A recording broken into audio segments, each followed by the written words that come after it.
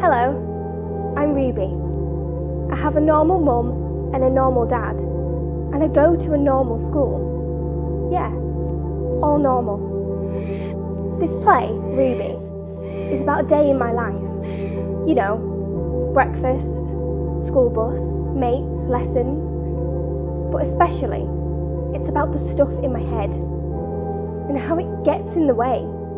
Yeah, it really gets in the way.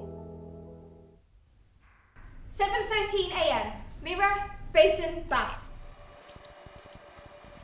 Mirror, basin, shower glass panel with fish on, Tesco orange and cranberry shower gel, Aussie anti-tangle shampoo, soap with the curly hair in it, gross. 7.20, school will be crap. But I'll make a plan, and I'll go to see Mr Williams, and he will listen, he will listen.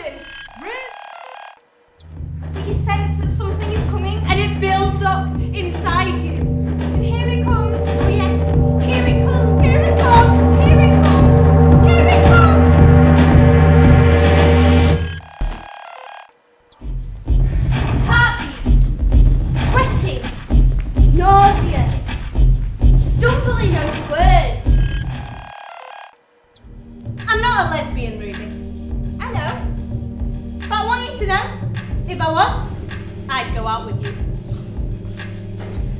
It makes me warm inside. for a week. Will I will be normal. I It's all right though. It doesn't end with me lying on the floor. I do find a way through the heart beating and the hand shaking and the dry mouth and this feeling that I can't, I just can't. When really, I can. Yeah, I can. What else? The play has three performers, and they all play me, and 30 other different characters, including an escapologist, a therapist, and my best friend, Charlotte. There's a school bus, and a really great teacher called Mr. Williams. There's an amazing light show, and a brilliant contemporary soundtrack. I'll see you later.